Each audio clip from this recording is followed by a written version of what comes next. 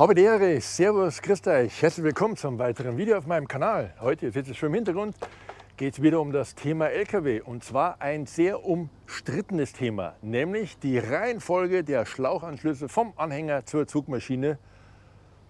Und ich erkläre euch heute in diesem Video, dass die Reihenfolge im Prinzip egal ist, denn es gibt keine richtig oder falsch.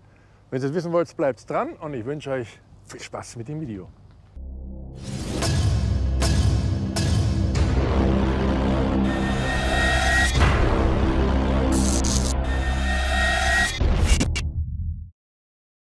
Bin ja mal mega gespannt, ob das Wetter jetzt herhält. Wenn man jetzt hier so schaut im Hintergrund, es ist strahlend blauer Himmel, die Sonne scheint. Es hat bis vor einer knappen halben Stunde geregnet, was das Zeug hält.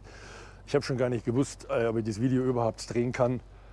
Und so wie es momentan aktuell ausschaut, strahlend blauer Himmel, ist ja mega. Also kommen wir mal wieder zurück zum Thema. Es geht ja um die Reihenfolge der Anschlüsse am LKW. Wir haben hier einmal Strom, einmal rot, einmal gelb. Die, die jetzt aktuell in der Fahrschule sind und kurz vor der Prüfung stehen, ihr behaltet euch natürlich im Hinterkopf, das, was ich euch heute sage. In der Prüfung ist aber gelb, rot, schwarz. Und dann gibt es noch so einen kleinen Merksatz, rot darf nie alleine stehen.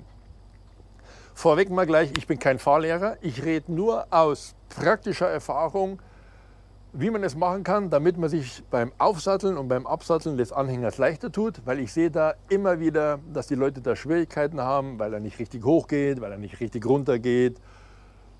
Es liegt meistens daran, dass das mit den Schläuchen hier hinten nicht so verstanden ist, wie es eigentlich, naja, dass es nicht so verstanden haben, wie es eigentlich gehört, beziehungsweise dass es in der Praxis so angewendet wird. Für die, die jetzt schon länger dabei sind, die werden es wahrscheinlich wissen. Also für die, die schon länger LKW fahren, werden es wahrscheinlich wissen. Aber für die, die jetzt noch relativ neu sind, gerade von der Fahrschule kommen oder gerade in der Fahrschule sind, nochmal ein kleiner Reminder. Also der gelbe Schlauch ist ja dafür da, dass der Anhänger gebremst werden kann. Der rote Schlauch ist einzig und allein dafür da, dass der Anhänger hinten Luft bekommt für seine Luftbalg, damit er austarieren kann, damit er natürlich gefedert ist und damit die Bremse überhaupt funktioniert. Naja, und zu guter Letzt haben wir dann noch den schwarzen, der ist fürs Licht. Und dann gibt es ja seit Einführung des ABS, keine Ahnung, wann es eingeführt worden ist, gibt es ja noch einen zweiten Schlauch, äh, ein zweites Kabel für das ABS. So, und jetzt kommen wir aber mal zu dem Thema, warum dieses eigentlich so umstritten ist, dieses Thema, was man jetzt wie, worum anschließt. Es gibt ja hier jetzt diesen schwarzen Knopf, für die Bremse, den kann ich jetzt nicht drücken, der bleibt draußen, weil an der Zugmaschine vorne die Handbremse drin ist. Das heißt, der Anhänger ist jetzt an beiden Achsen gebremst. gebremst. Vorne und hinten.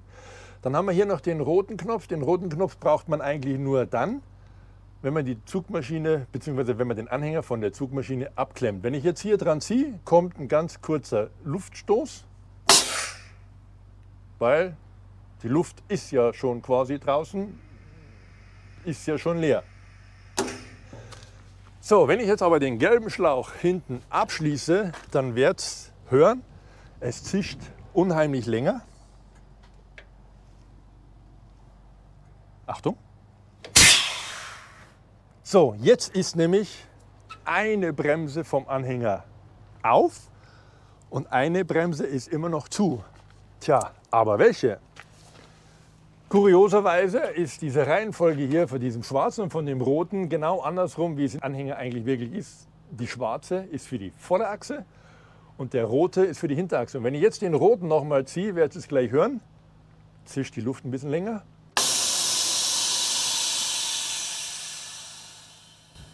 Weil jetzt die Hinterachse wieder gebremst ist. So, und jetzt zum Aufsatteln.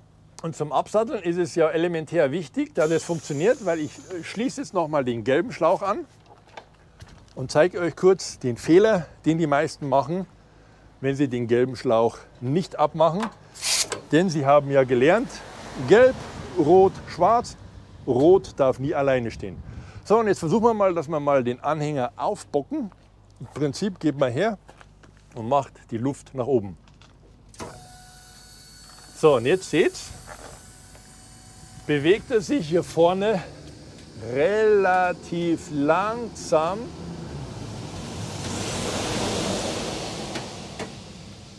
Ihr merkt, ich bin hier gerade in einem Industriegebiet, wo ein paar LKW fahren. Kann also sein, dass wir ab und zu mal ein bisschen gestört werden. Und während ich hier am Quatschen bin, sieht man, naja, es tut sich nicht viel. Der Hebel, man hört es vielleicht, der ist aber immer noch auf oben. Ja, passiert nichts. Wenn ich jetzt das Bein hier raus mache, reicht mir die Höhe aber nicht, weil der Anhänger nicht hochkommt. Jetzt machen wir mal kurz hier auf Stopp, weil verdüdeln wir unnötig Luft. So, und jetzt müsst ihr aufpassen, was passiert mit dem Anhänger, wenn ich jetzt den gelben Schlauch abmache. Mal so rumstellen. Passt mal auf, was jetzt passiert. Ich schließe jetzt hier den gelben Schlauch ab. Fum! Haut den Anhänger fast einen Meter hoch. Wie kommt das? Ganz einfach. Weil beide Achsen gebremst sind. Ich hoffe, ihr hört mich vom Wind noch. Ich habe extra meinen Puschel hier, hier dran. Jetzt sieht man, dass der Anhänger um einiges höher ist. Und wenn ich ihn jetzt noch mal ablasse, scheiße laut.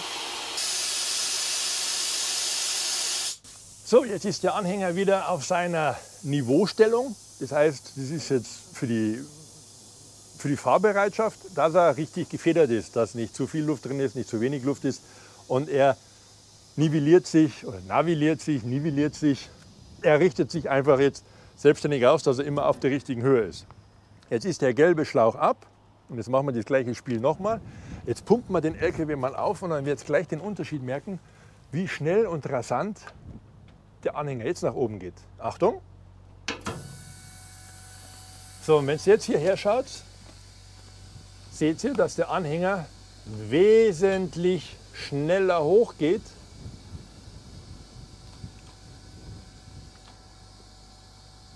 Weil ja nichts gebremst ist. Also eine Bremse draußen ist. Und wenn man jetzt hier schaut, man sieht, sieht man das, dass sich der Vorderreifen leicht dreht. wenn ich die Leute fragen, wieso dreht sich der Vorderreifen, wenn der Anhänger ja steht, der wird ja jetzt nicht länger oder sonstiges. Das liegt einfach daran, dass der Federbalg, der ja den, den Anhänger nach oben hebt, nicht mittig von der Achse liegt, sondern hinterhalb der Achse. Deswegen kommt es zu einer Verdrehung des Reifens. Und deswegen bekommt man, seht ihr, wie schön hoch das der jetzt ist? Deswegen bekommt man den Anhänger nicht hoch, wenn die Bremsen drin sind. Deswegen gelben Schlauch ab, eine Bremse raus, dann geht das Ding auch hoch. Und genauso ist es hinten auch. Hinten geht er jetzt auch wunderbar hoch. Wenn man jetzt beide gleichzeitig nach oben fährt und beide Bremsen sind drin, passiert gar nichts. Wenn man dann nämlich auch in den LKW steigt und löst die Handbremse, passiert das Gleiche, was ich hier mache, wenn ich den gelben Schlauch abmache. Der Anhänger schießt hoch. Und was bei 10 Tonnen Ladung nicht unbedingt äh, gesund ist für den Anhänger oder für die Ware, die, drin ist. Also lieber das Ding vorsichtig rauf und runter lassen, ähm, bevor da drin irgendwelchen Schaden nimmt.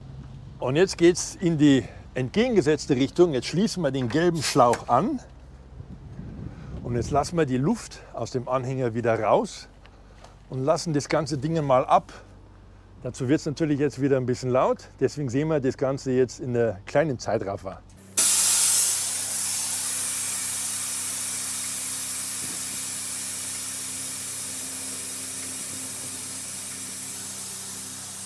Sorry, das war jetzt mein Fehler. Das kann man ja in der Zeitraffer gar nicht sehen, weil ja der Anhänger nicht nach unten gehen kann, weil die volle Bremse gebremst ist. Und ihr seht, er hört jetzt schon das Zischen auf, aber das Ding kommt nicht runter, weil der gelbe Schlauch wieder dran ist und die Bremse ja drin ist.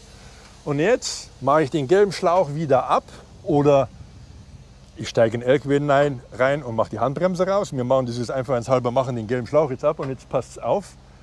Der Anhänger macht jetzt einen Satz und fällt einfach mal volle Kanne runter. Und jetzt ist er Gott sei Dank leer. Jetzt stellt euch vor, das Ding hat 10 Tonnen Ladung und ihr wollt den ablassen und ihr habt die Bremse nicht draußen. Also das tut den Anhänger nicht gut, das tut der Ladung nicht gut, das tut euch vielleicht eventuell auch nicht gut. Deswegen fahre ich auch ab und zu mal rum und habe den gelben Schlauch gar nicht dran. Um natürlich jetzt die hundertprozentige Verkehrssicherheit aufrechtzuerhalten, muss natürlich, wenn ich draußen fahre oder generell losfahre, alles angeschlossen sein. Aber die Reihenfolge ist total pieps egal. Ob ich erst gelb, erst rot, erst schwarz, erst schwarz, erst rot, dann gelb. Egal.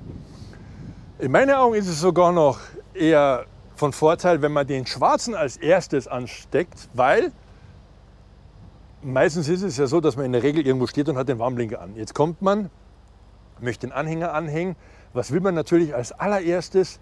Entweder, dass man von hinten sieht, dass der, Warn, äh, dass der Anhänger einen Warnblinker anhat oder dass er vielleicht sogar nachts das Licht anhat. Also wäre meine logische Reihenfolge wie unsere Deutschlandflagge schwarz, rot, gold.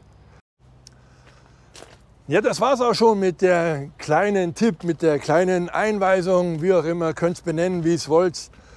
Ähm, ihr könnt es mal gerne unten in die Kommentare reinschreiben, was ihr gern noch so wissen würdet, weil diese Frage ist ja auch mehrmals in meinen Kommentaren äh, geschrieben worden, warum ich die Reihenfolge nicht so beachte, wie es man in der Fahrschule lernt. Und wenn es euch jetzt fragt, warum ich schon wieder den roten habe, viele von euch kommen wahrscheinlich, weil sie das Video gesehen haben, mein neuer weißer, das erkläre ich in einem anderen Video. Wenn euch dieses Video gefallen hat und ihr weiterhin von mir Tipps haben wollt, könnt ihr mir das zeigen, indem ihr einen Daumen nach oben gibt. Abonniert den, äh, abonniert den Kanal. Abonniert den Kanal, Glocke aktivieren, dann verpasst keiner meiner weiteren Videos. Und dann würde ich sagen, sehen wir uns im nächsten Video. Bis dann. Ciao, euer Dirk.